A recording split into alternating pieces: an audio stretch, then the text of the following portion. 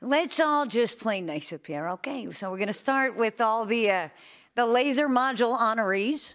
So to Bill Beck for his pioneering utilization of semiconductor lasers for theatrical laser pro projection systems, the Academy presents a Technical Achievement Award.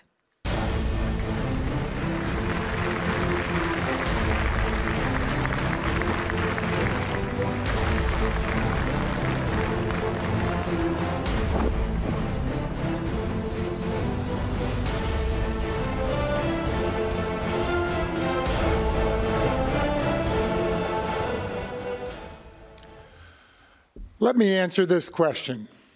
How many people does it take to change a light bulb? A few. A few who decide to do it, a few more to see if it can be done. A few more who try to do it and fail spectacularly. A few more who think they're smarter than the ones who failed.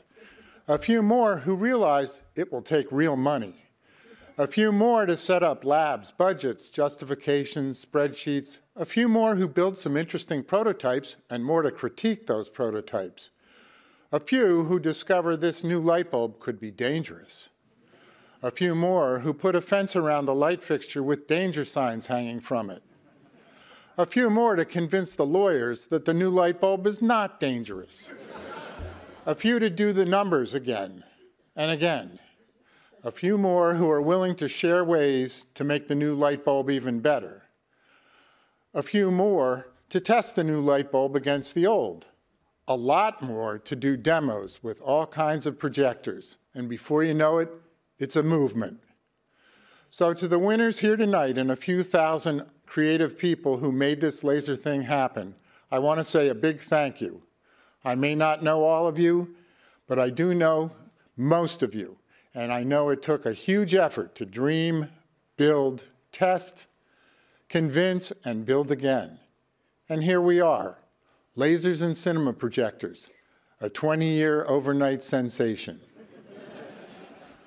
Finally, I'd like to thank the Academy for this recognition and all the thought leaders I've encountered along the way who made sure that in this beautiful marriage of art and technology, the art would always come first.